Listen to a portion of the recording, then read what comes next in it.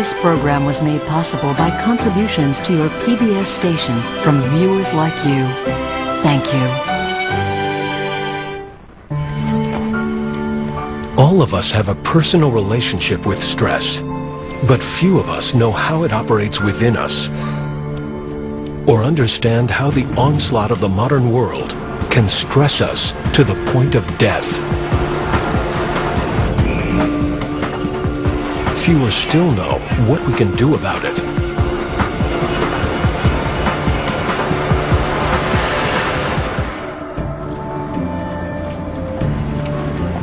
But over the last three decades, Stanford University neurobiologist Robert Sapolsky has been advancing our understanding of stress, how it impacts our bodies, and how our social standing can make us more or less susceptible. Is the aggregate bad news and Most of the time, you can find him teaching and researching in the high-achieving, high-stressed world of brain science.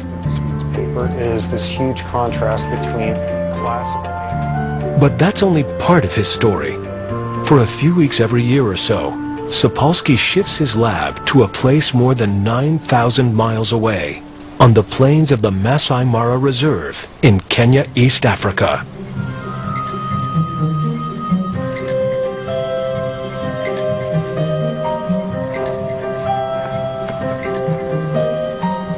Robert Sapolsky first came to Africa over 30 years ago on a hunch. He suspected he could find out more about human stress and disease by looking at non-humans. And he knew just the non-humans. Live in a place like this, you're a baboon, and you only have to spend about three hours a day getting your calories. And if you only have to work three hours a day, you got nine hours of free time every day to devote to making somebody else just miserable.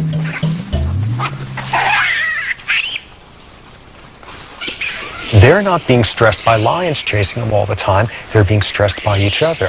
They're being stressed by social and psychological tumult invented by their own species. They're a perfect model for westernized stress-related disease.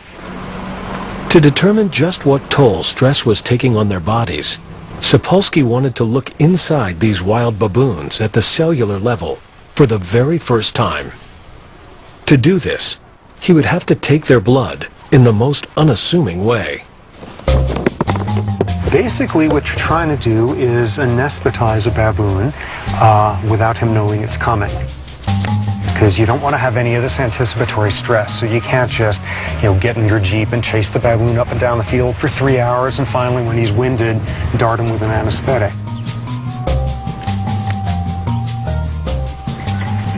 The big advantages of a blowgun are that it's pretty much silent and hasn't a whole lot in the way of moving parts, but the big drawback is it doesn't go very far.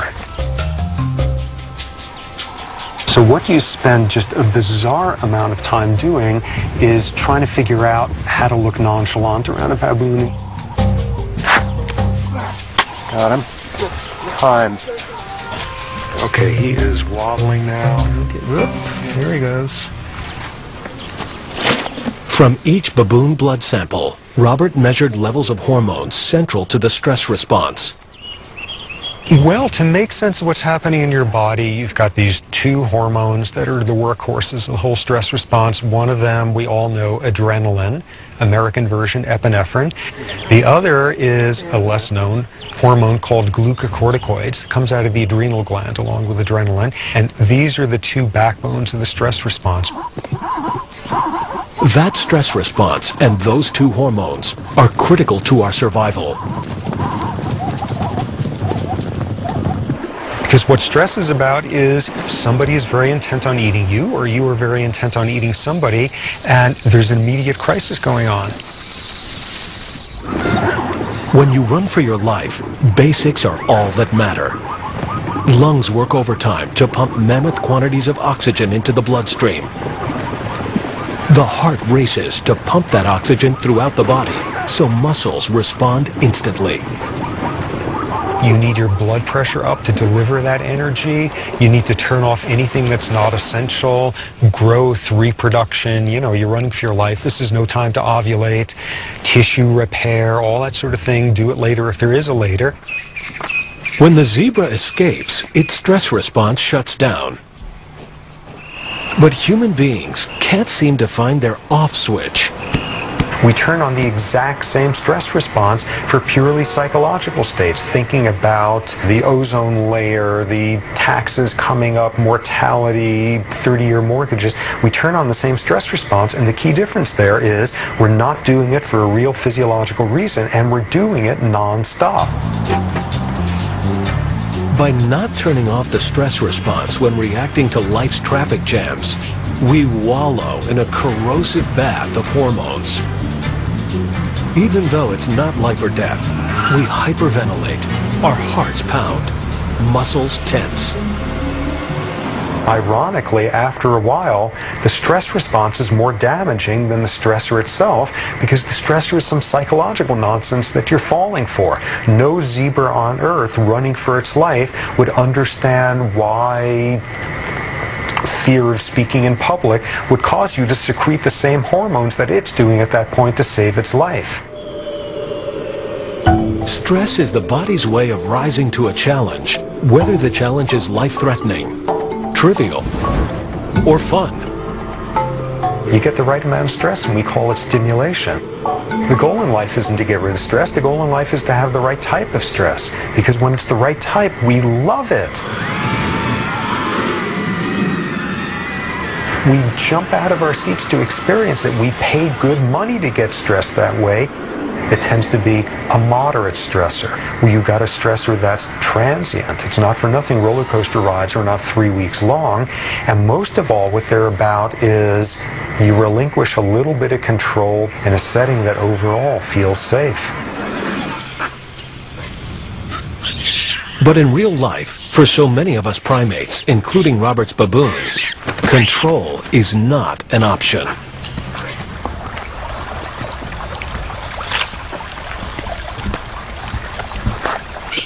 So you get some big male who loses a fight and chases a subadult who bites an adult female who slaps a juvenile who knocks an infant out of a tree all in 15 seconds. So insofar as a huge component of stress is lack of control, lack of predictability.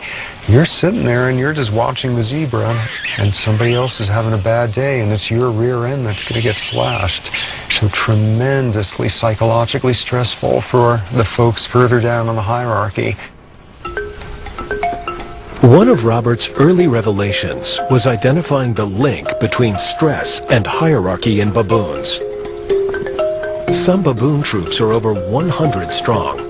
Like us, they have evolved large brains to navigate the complexities of large societies. Survival here requires a kind of baboon political savvy, with the most cunning and aggressive males gaining top rank and all the perks. Females for the choosing, all the food they can eat, and an endless retinue of willing groomers. Every male knows where he stands in society, who can torture him, whom he can torture, and who in turn the torturee can torture. Well, this sounds like a terrible thing to confess after 30 years, but I don't actually like baboons all that much. I mean, there's been individual guys over the years who I absolutely love, but they're these schemy, backstabbing, Machiavellian bastards. They're awful to each other. So they're great for my science. I mean, I'm not out here to commune with them. They're perfect for what I study. 22 years ago, at the age of 30, Sapolsky's landmark research earned him the MacArthur Foundation's Genius Fellowship. His early work, measuring stress hormones from extracted blood, led to two remarkable discoveries. A baboon's rank determined the level of stress hormone in his system,